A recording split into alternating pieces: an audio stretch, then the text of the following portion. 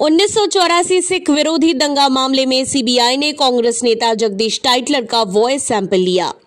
कांग्रेस नेता जगदीश टाइटलर का voice sample CBI की सीएफएसएल लैब में लिया जा रहा है।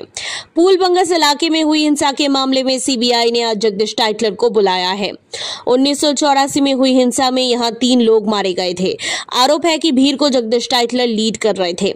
अधिकारियों ने बताया कि टाइटलर केंद्रीय फॉरेंसिक विज्ञान प्रयोगशाला पहुँचे, जहाँ आगे की कार्रवाई जारी है।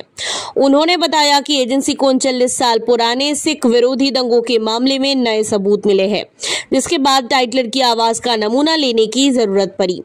वर्ष उन्नीस सौ चौरासी में तत्कालीन प्रधानमंत्री इंदिरा गांधी की उनके सिख अंगरक्षकों द्वारा हत्या किए जाने के बाद देश में सिख समुदाय पर कथित तौर पर हिंसक हमले किए गए थे। उन्नीस सौ चौरासी सिख कत्लेआम के आरोपी कांग्रेस नेता जगदीश टाइटलर के खिलाफ गवाही देने के लिए आज सीबीआई ने दिल्ली सिख गुरुद्वारा प्रबंधक कमेटी के पूर्व अध्यक्ष सरदार मंजीत सिंह जीके को नोटिस भेजा है। सरदार मंजीत सिंह जीके ने प्रेस कॉन्फ्रेंस करके जगदीश टाइटलर के 5 फरवरी 2018 को पाँच वीडियो जारी किए थे।